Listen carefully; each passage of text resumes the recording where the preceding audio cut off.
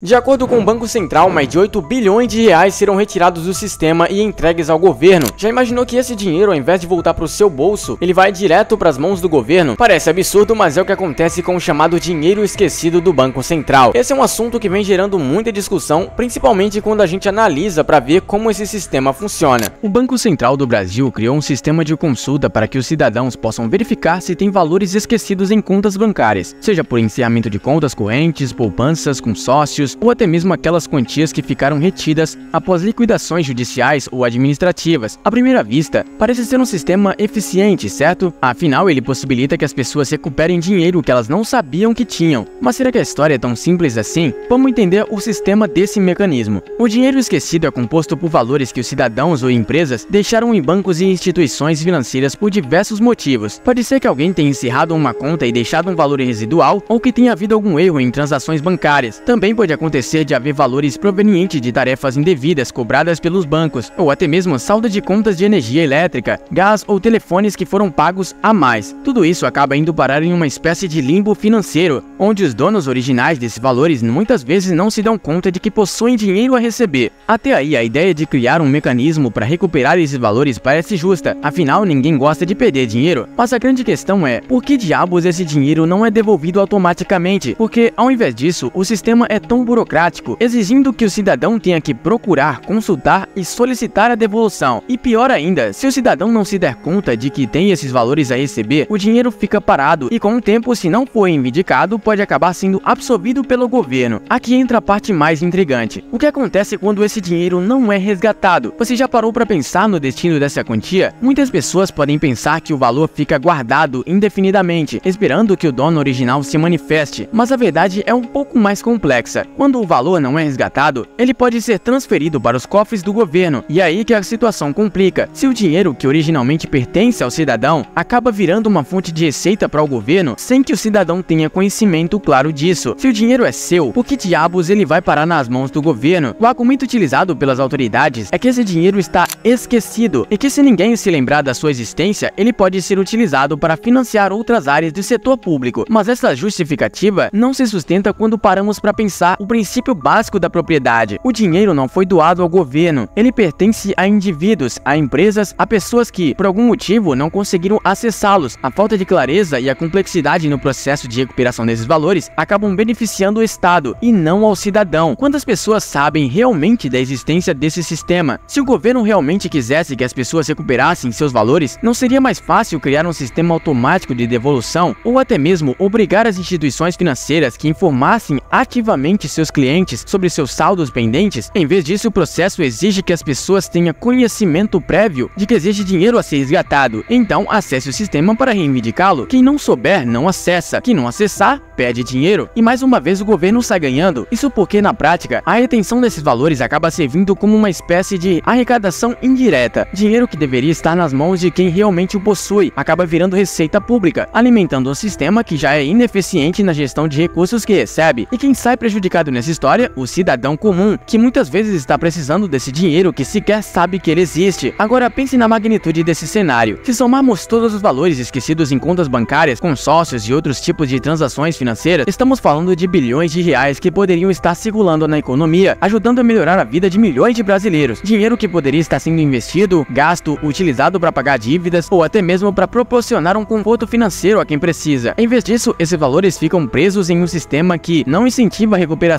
que no final das contas beneficia apenas uma parte, o governo. Outra questão que precisa ser levada em conta é porque a maioria das pessoas não sabe desse sistema e que não estiver atento às notícias ou não se interessa por temas econômicos, provavelmente nunca vai se deparar com essa informação. Isso cria um cenário de desigualdade de acesso. Quem tem mais conhecimento, mais recursos ou mais disposição para investigar essas questões acaba sendo beneficiado, enquanto uma grande parte da população, que muitas vezes é o que mais precisa, fica de fora. Além disso, esse dinheiro parado que poderia estar ajudando as famílias, as empresas a superar dificuldades financeiras está sendo retirado de circulação. Imagine o impacto positivo que esse montante poderia ter se estivesse no bolso do cidadão. O consumo aumentaria, investimentos seriam feitos, pequenas dívidas seriam quitadas e a economia como um todo poderia se beneficiar. No entanto, ao deixar esse dinheiro parado ou ao permitir que ele seja absorvido pelo governo, estamos perpetuando um ciclo de concentração de recursos que não beneficia quem mais precisa. E por que isso importa? Porque no final das contas, estamos falando de direitos básicos, o direito de de cada cidadão acessar e dispor do seu dinheiro próprio. O governo não deve e não deveria ter direito de se apropriar de valores que pertencem a indivíduos ou empresas apenas porque eles foram esquecidos. O fato de não haver um sistema proativo de devolução desses recursos revela uma falha no compromisso com a justiça financeira e a transparência. É muito importante refletir sobre o papel do Estado e das instituições financeiras nesse processo. O sistema deveria estar a serviço do cidadão, facilitando o acesso a esses valores e garantindo que o dinheiro esquecido voltasse para o seu dono de forma automática e descomplicada. Mas infelizmente o que vemos é um sistema que se aproveita da falta de informação, da burocracia e da complexidade para no final beneficiar apenas o próprio governo. Então da próxima vez que você ouvir alguma coisa sobre dinheiro esquecido, lembre-se que não é apenas a oportunidade de recuperar valores, trata-se também de uma justiça financeira. O seu dinheiro não deveria estar indo para o governo, mas sim para você que é o proprietário. Bom, esse foi o vídeo de hoje, eu espero que você tenha gostado. Não esquece, deixa seu comentário aqui sobre esse assunto, o que, você acha sobre